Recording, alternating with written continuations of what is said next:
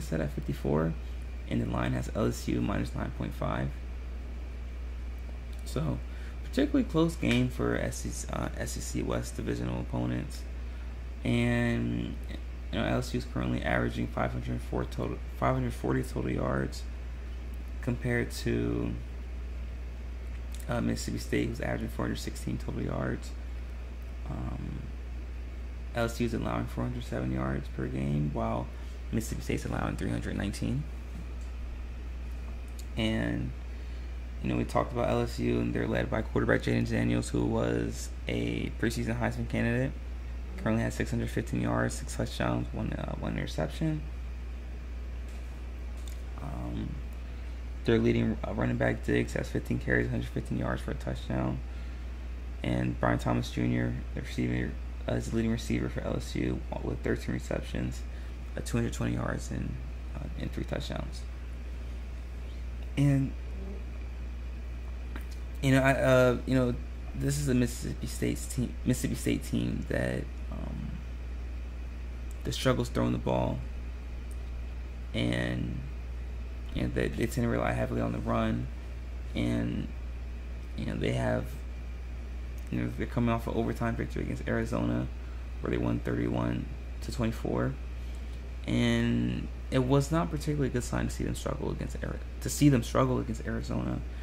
Um, and the key to the victory, the key to victory for Mississippi State will be for them to establish the run and to um, to get into play action passing so that opens up the passing game.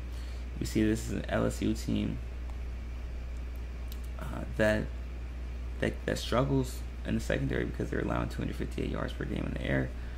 So if they if Mississippi State can establish a run in order to open the passing game, that will bode well for their success and it will be interesting to see what Mississippi uh, decides to commit to in this game.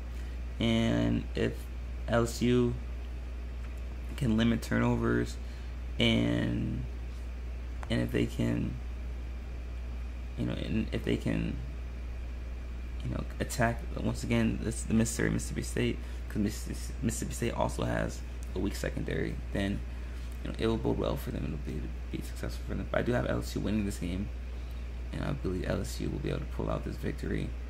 Um, I do believe it's going to be a close game. I think that Mississippi State will cover the spread.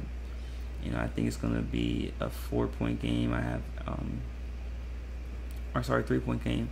I have LSU winning this game by score of of 24 to 21. So I do think this game's to be a lot closer than people expect be, expect it to be. Um, but LSU can't afford to lose this game. If I mean, if LSU loses this game to Mississippi State, then their season's, for all intents and purposes, over.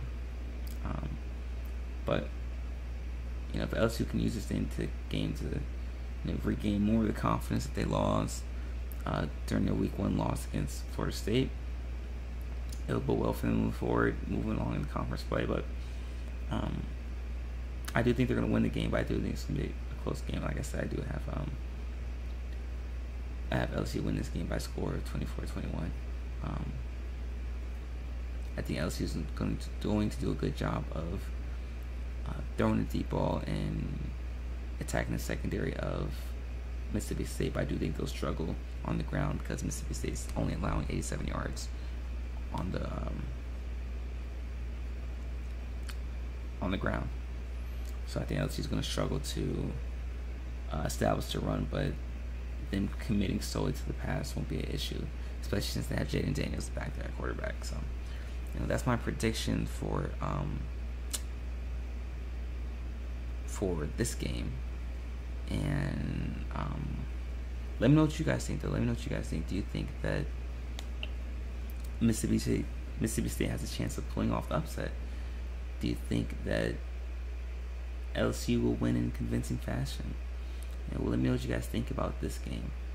Um, you know, when it comes to these SEC West uh, divisional games, they're, they're always close. Doesn't matter. Ole Miss, Mississippi State, uh, Texas A&M, LSU, Alabama, Tennessee.